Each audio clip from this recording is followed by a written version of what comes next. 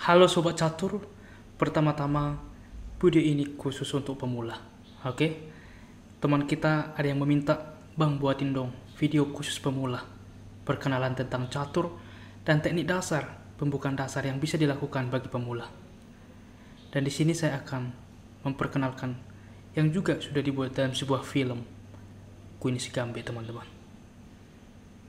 Oke, di sini kita akan mempunyai papan 8 kali 8 di mana huruf A sampai ke H menuju ke kanan dan angka 1 sampai 8 menuju ke hitam. Oke, kita mempunyai petak pusat D4, E4, E5, D5.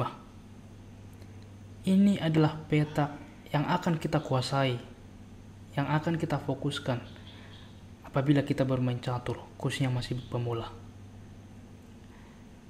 Nah, di kesempatan ini saya akan memberikan sebuah pembukaan yang bisa kamu coba di dalam permainan kamu, yaitu D4. Biasanya cukup banyak balasan. Kuda berkembang ke F6. Tetapi yang akan saya bahas di kesempatan ini dibalas dengan D5. Sehingga kita lihat ini adalah pembukaan dari depan menteri dibalas dengan variasi simetris, maka kita balas C4 dan ini dinamakan gambit menteri, Queen's Gambit. Banyak balasan seperti pion maju, slav defense, kuda berkembang, atau diterima atau ditolak. Dan di kesempatan ini, saya akan menunjukkan apabila diterima. Ini khusus pemula tentunya. Maka pion ini sudah terserang, kita akan menyerang pion untuk mengaktifkan gajah. Dan jebakan yang akan saya tunjukkan kepada kamu apabila di posisi ini dibalas dengan hitam tetap ingin melindungi pion dengan pion KB5.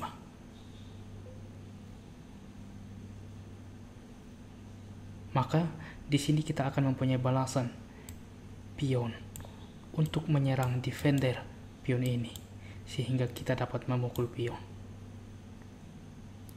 Dan tentu bagi pemula apabila dilindungi pion ini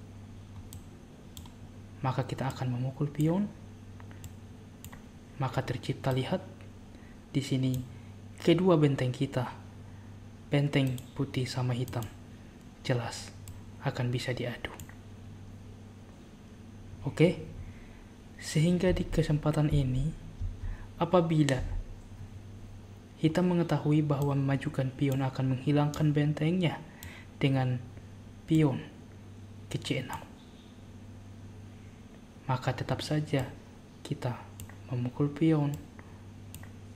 Sekarang apa yang bisa kamu lihat, Bro?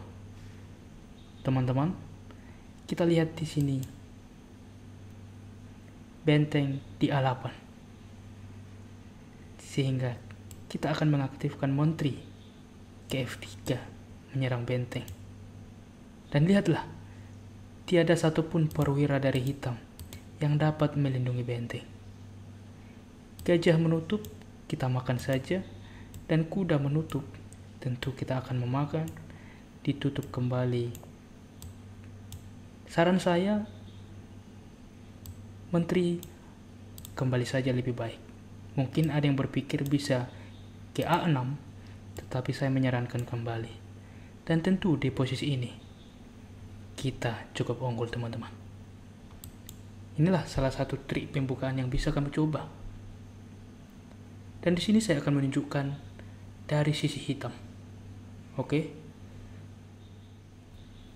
Sekarang kita bisa melihat bersama papan kita dari sisi hitam.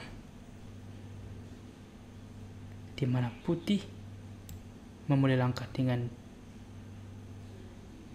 pion ke D4 dan kita di sini sebagai hitam tidak membalas dengan D5 tetapi dengan kuda ke F6. Dan apabila di sini pion ke C4, kita akan membalas dengan pion ke E5. Ini dinamakan nantinya dengan Budapest Gambit. Jebakan pada Budapest Opening.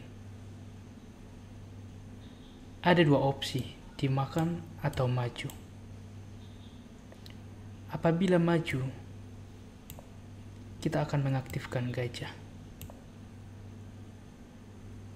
Dan lihat, biasanya putih akan melihat bahwa kuda dan menteri berada dalam satu diagonal sehingga memainkan gajah untuk memaku kuda di petak kelima. Saya akan menunjukkan taktik di posisi ini. Anda bisa memainkan kuda berkembang ke pusat, yaitu ke petak E4. Terlihat kita menyerang gajah dan mengorbankan menteri. Tetapi yang harus kamu tahu bahwa ketika menteri kita dimakan, maka jelas akan terjadi skakmat dengan memukul pion penting F2. Skakmat teman-teman. Karena apa? Petak pilihan raja di petak D2 sudah dikontrol oleh kuda. Oke?